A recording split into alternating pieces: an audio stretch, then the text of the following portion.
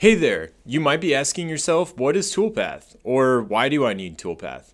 In this video series, we're going to dive into all the juicy details that makes Toolpath such a great addition for your shop. Let's answer first the why.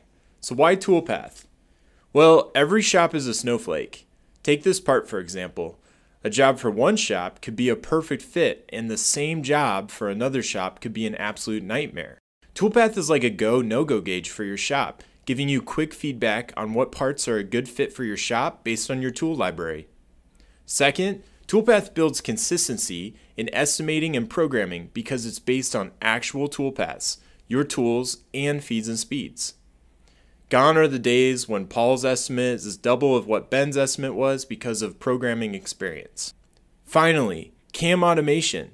Now, we know full automation is a ways off, but Toolpath will significantly accelerate the programming of simple to intermediate parts and eliminate all those monotonous picks and clicks you have to go through every time you program a part.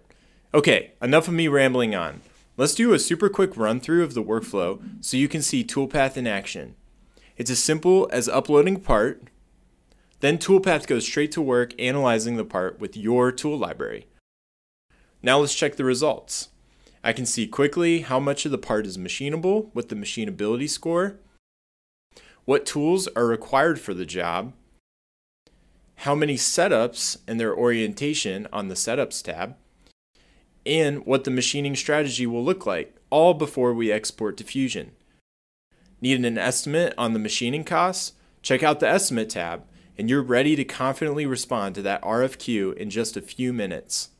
Saving the best for last, we export our part to Fusion where Toolpath has automatically programmed our part. Of course, we should go through the operations and give it the once over, but in about a minute, Toolpath is analyzed, estimated, and programmed a part with your tool library and parameters. Do I have your attention now? Great! Let's dive in more in the next video where we'll upload our first part and start configuring Toolpath for our shop.